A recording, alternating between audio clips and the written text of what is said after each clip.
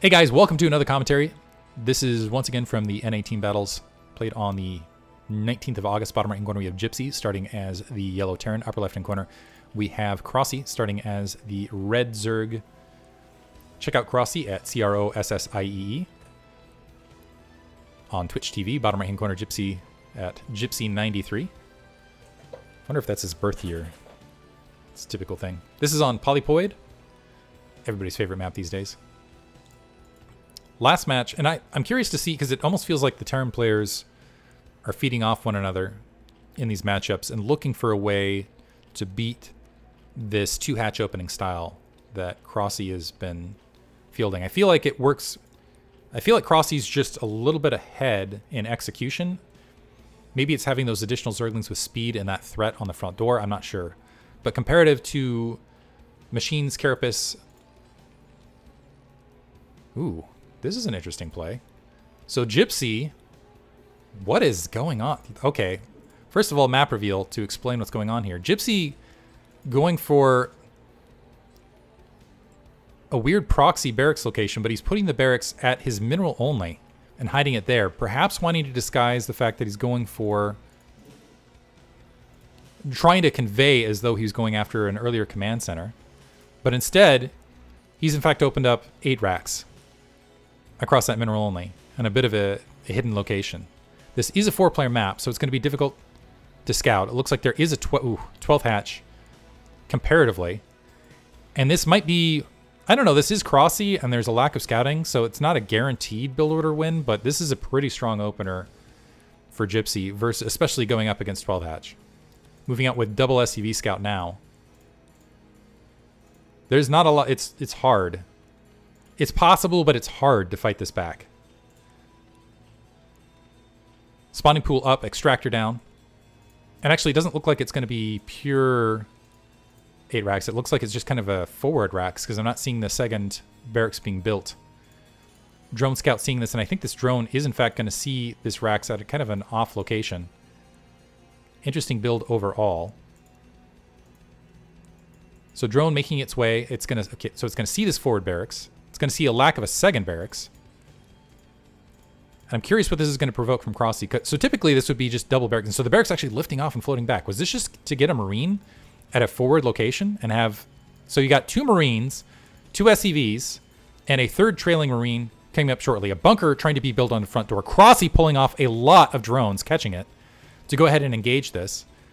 He wants to try to box out those Marines. Looks like the scouting drone able to get behind this and pin those Marines in. The Marine trying to run back across.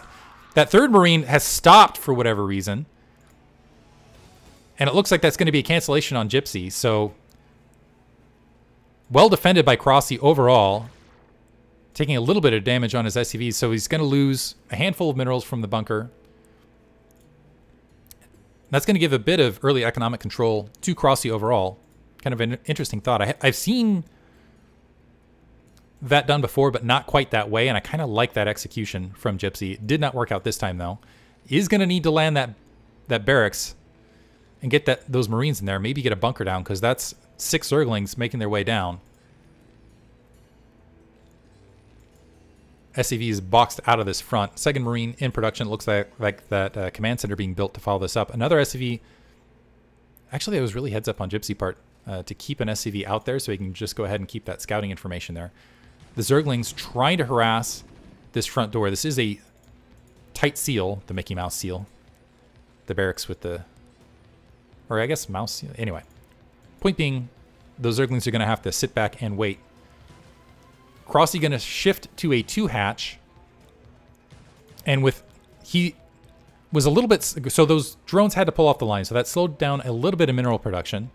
But I think the larger cost is to Gypsy comparatively. He's already got that engineering bay up. He's got that, that academy building.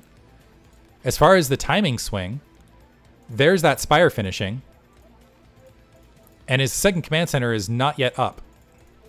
And he's only got a single barracks, and that barracks, keep in mind, has not been pumping Marines this entire time.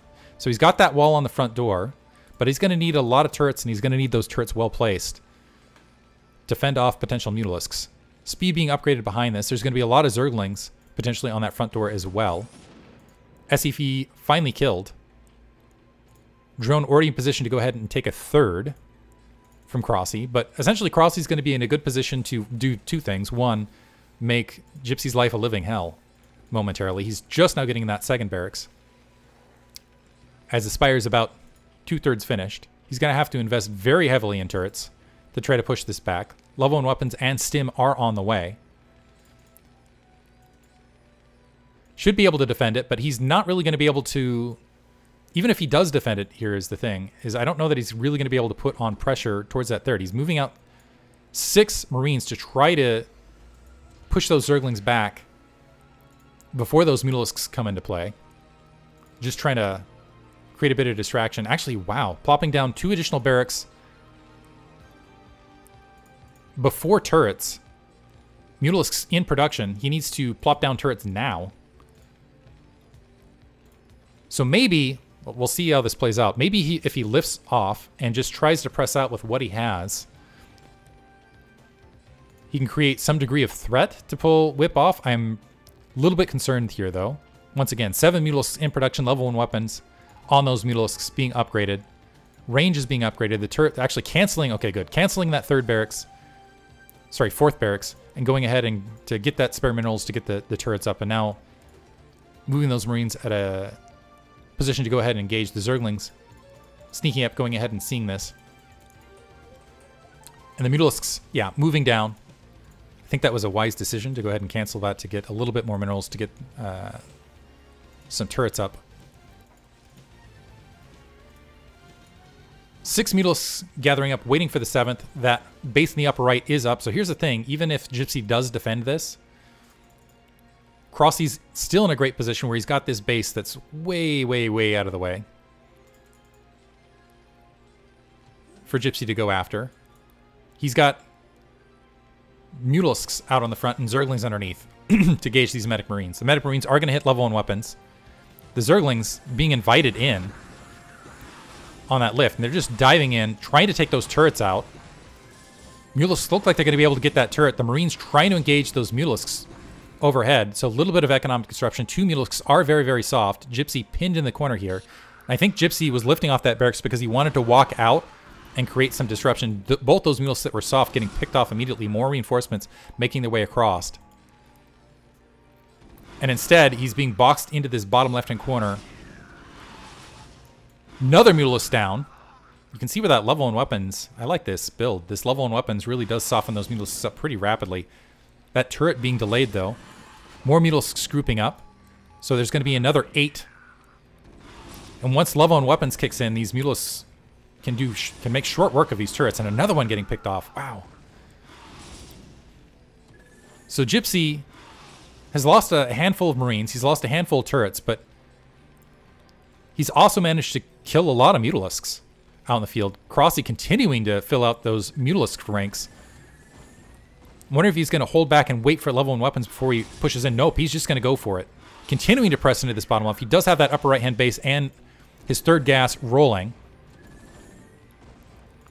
Gypsy trying to get his own gas up, and you can just see these Marines pocketed in. This is... I think you... And yeah, it's just so difficult to get across this corner, and this is why this can be a very difficult map for Terran. Three turrets there planted. But this is a huge slew of Mutalisks, and level 1 weapons is finished. Lurker upgrade now being built, and that gas still being plummeted down. Gypsy just opting to go ahead and press out with that Medic Marine force. There is an Overlord that can go ahead and see those Medic Marines, and it looks like those Mutalisks are going to pull off and track them. And with this amount of Medic Marines and this amount of Mutalisks, especially especially with level 1 weapons, Crossie should be able to make short work of what's here.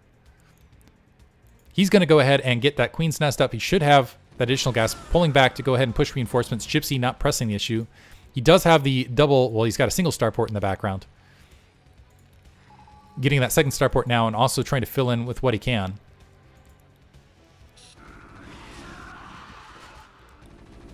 Overlord's going to get picked off overhead. I don't think that was the grouping Overlord. But the Medic Marines, yeah, just kind of dwindling, and it's just kind of, yeah. Crossie's so good with this. But Gypsy actually finding a good pocket to go ahead and sandwich Gypsy's Mutalisk Sin was able to take one out. Upper right hand base is there. It looks like some Hydralisks being built. Keep in mind, this is a ramped map, so Mutalisks can buy some time for the... If Mutalisks can buy time, get those Lurkers out in place and get them up on the high ground, it becomes very difficult to evict Zerg from that third gas location. Gypsy trying to keep that Medic Marine in a ball. At least with this, he's kept them away from that natural expansion. That gas finally up. Because of that delay on that gas, I think that's what put that, uh, that's definitely what put that Science Vessel behind. I kind of like that play from Crossie. He's like, okay, I'm just going to, because I have Mutas, because I have level 1 weapons, I'm going to go ahead and harass that gas, make sure it stays down for as long a period as possible to keep that Science Vessel count a little bit lower in the mid game. But Crossie doing a good job of just keeping these Medic Marines short, but there's no Lurker here yet. It is just a Hydralisk and a Sunken colony, so Gypsy's going to have to defend this with Mutalisks alone. Also no Nydus Canal. So Gypsy able to walk up into this third base. There's finally a Lurker. Second Lurker morphing. That single Lurker very quickly getting picked off. Gypsy trying to engage, having a little bit of difficulty finding positioning, more Mutalisks grouping up, going after that gas, able to pick a Mutalisk very quickly out of the air, and now Gypsy walking into this third. Lurker spawning, Hydralisk spawning, those Hydralisks trying to morph to Lurker, but Gypsy finding damage out of all this. The Lurker's finally going to be able to clean this up, but able to do a lot of disruption in the meantime. Particularly in thinning out this Mutalisk grouping overhead. Enforcing a lot of Lurkers to be morphed. More Medic Marines actually making their way up to that upper right-hand corner. I think they need to pop, return back to home base. Science Vessel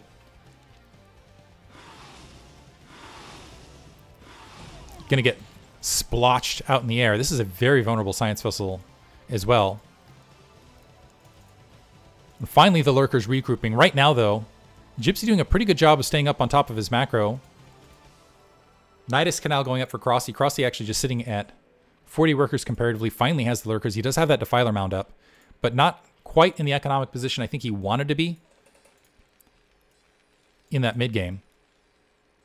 And I think it part of it is, is he just built so many Mutalisks. So many Mutalisks and had that level 1 weapons upgrade and wasn't quite able to get as much damage done as he wanted to. Three Lurkers there. It looks like Gypsy starting to gather an attack force towards this upper right. Maybe wants to take another shot at the high ground. And with actually two science vessels, might be able to just straight up irradiate through and get another jump into that upper right-hand base. In the meantime, he's got seven barracks up, another command center being built to go ahead and grab that third. Ooh. Taking a step up, losing a handful of Marines. Again, maybe not seeing it underneath that Overlord, kind of a classic trick. Mutas pushing up. Scourge picked out of the air. The Zergling's not quite able to get anything done. Crossie forced to at least respect this attack. And Gypsy going to go ahead and take the 6 o'clock base while that army is threatening to that upper right-hand corner and expand to his mineral only to go ahead and take a quick economic lead. Some good irradiates overhead. One to clear off that Overlord so that he can start irradiating. And actually, that poor Zergling. Poor Zergling. Overlord's still going to try to hide over those lurkers to buy some time. Oh, do they? I didn't realize that they did damage to the burrowed lurkers underneath. So one lurker left, and one lurker only, I believe. More replacing. Was that lifted off? I didn't. I thought that uh, burrow lurkers were defended. Whatever. Six o'clock location having to be canceled as some Zerglings were able to sneak there and get some damage done. But while that's happening, classic eraser in the upper right hand corner with no Scourge overhead. I like what Crossie did. Fleeing into that Nydus Canal. Looks like Gypsy just going to try to camp on that Nydus Canal to get damage done otherwise. Looking for that irradiate damage. Two lurkers pocketed, still on that high ground. Scourge finally up in the air, going to be able to take out several science vessels, but not before those lurkers are breached. However, the Defiler's there to defend. Dark Swarm dropped, and Gypsy is once again going to be repelled at least to the back interior corner of the space. This attack is not over yet, though. The medics have been wiped out, so it's just going to be Marines stranded. Science vessels pushing up as well. See what Gypsy can get done. More reinforcements coming through. While this is happening, Crossie going to go ahead and expand to the bottom left. Nice swarm And the Marine's just going to get obliterated. Nice defense from Crossie in the upper right-hand corner. Bottom left-hand base is being grabbed by him. That mineral only is now up for Gypsy. He's starting to spread troops all over the map. Again, marching up to the upper right to provide some threat there. Looks like he's also wanting to press this natural expansion. Or, sorry, he's hanging out at the mineral only. I'm not sure if he has eyes on the base in the bottom left-hand corner or not. Crossie pressing out a little bit. Right now, Gypsy way ahead in the supply count. But Crossie still holding on. Medic Marines breaking through. Able to get that Nydus Canal down. Second Nydus is being built. Some Ultralisks, however, slow Ultralisks, making their way down. And they should be able to clean up this Medic Marine force. However, Gypsy smelling blood in the water. Moving the rest of his Medic Marine force to the natural expansion. There's five, what is this, six, six Ultralisks there. Gonna go ahead and drop some Irradiates. Still might be able to do some additional damage. While he's got Crossie boxed in, he's gonna go ahead and grab his six o'clock.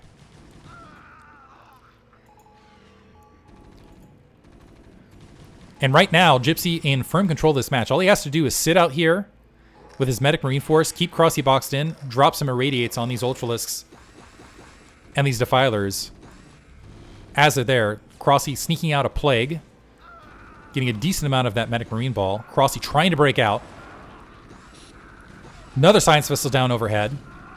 A good swarm on that front. That Defiler's not long for life, though. Trying to drop what swarms he can to go ahead and push Gypsy off his front door.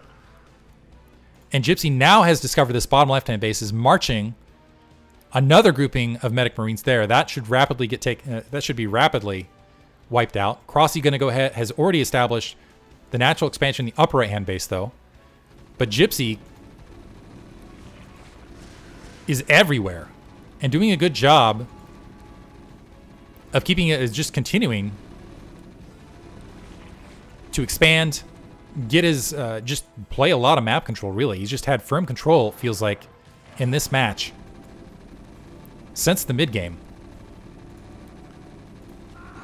Ultralisk starting to push in. There is a defiler there, dropping a swarm. It's getting irradiated almost immediately, and this is a huge science vessel count as well that Gypsy has overhead. You can go ahead and walk out of these troops, attacking across that 3 o'clock. A couple Zerglings have managed to sneak through and find the command center. That can easily be lifted off as a protective measure momentarily. But Crossie just trying to throw everything he can to get Gypsy off his front door so he just can't freeform just irradiate absolutely everything. I think I missed a couple science vessels getting killed there. Some Zerg those Zerglings look like they're going to get wiped out. Some more Zerglings starting to flood across the field. Crossie at practically half the supply of Gypsy.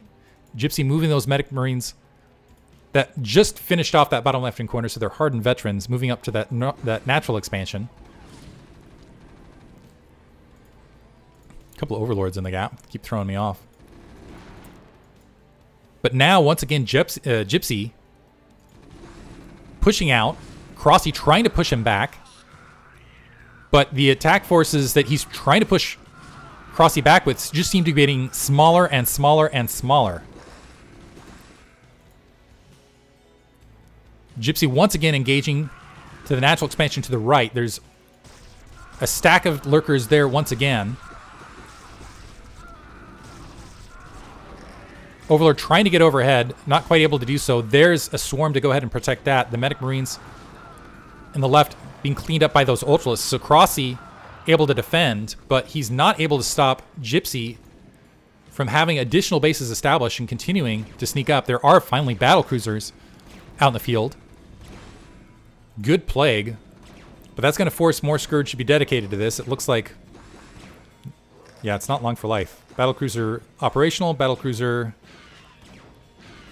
Goodbye, Battlecruiser. It was good seeing you for a moment. Great Plague on the Science Vessels overhead. Crossie still making a match of it. Unfortunately for him, and I like these bunkers being placed here at the 6 o'clock, trying to flood out more troops again just to try to buy himself some breathing room. But Gypsy has two sizable armies. This walking into that natural expansion, just wiping out these Zerglings and these Ultralisks really before they can get any sort of breathing room. And this attack force now pushing up to that upper right-hand base. Keep in mind, Crossie's main and natural expansion are not long for life. That Nydus Canal wiped out. With that Nydus Canal down, Gypsy has a big opportunity to break everything here in the upper right. The Science Vessel fleet still overhead. All of them are very, very weak, so they need to be careful. And even here's the thing, even if Gypsy loses all of this, he's still got two bases up over Crossie. And he can just play the long macroeconomic... Ooh, that Spore Colony picking off... It can just tap those and wipe them out. Crossie somehow fighting this troop. Is there another Nydus Canal? There is another Nydus Canal at the main. Just pressing this out. This is a big moment in the match. Gypsy's reinforcements coming in. The Zerglings that are trying to reinforce getting wiped out. Another Science Vessel getting picked off by that Spore Colony to the right. But now there's zero defense force here. Two more science vessels down. But that's GG from Crossie just because he has nothing. Gypsy's economy just absolutely rolling. Twice the supply. He's about to lose his... Going to go ahead and rewind. About to lose... What's left is uh, of his mining base in the upper right. And that once Gypsy took out this natural expansion, you could just walk in, wipe that out, and there is basically not just not enough left to stem the tide from that point on. Hope you guys enjoyed it. Really enjoyed, yeah, Gypsy's troop movement in this match. He really was everywhere on the map. It just seemed like he had pockets of troops that were constantly in Crossie's face, constantly having these engagements here, where the Defiler just not able to drop Swarm or a Plague, just wipe out those Zerglings. You can just see, yeah, this is just happening a, a, a step too late, and then pushing in with those Science Vessels otherwise. Great play from Gypsy overall. Hope you guys enjoyed it. Thank you for listening.